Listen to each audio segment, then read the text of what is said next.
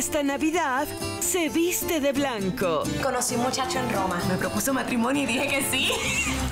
Gilberto Santa Rosa es el padre de la nena. ¿Estás segura de lo que vas a hacer? Y ellas, las mamás. Mi esposa. ¿Sorprendidos? Son disparates. Aquí tú te casas. La nena se casa en Navidad. Estreno, domingo 16, 5.50 pm México, 8.50 Argentina. Por Cine Latino.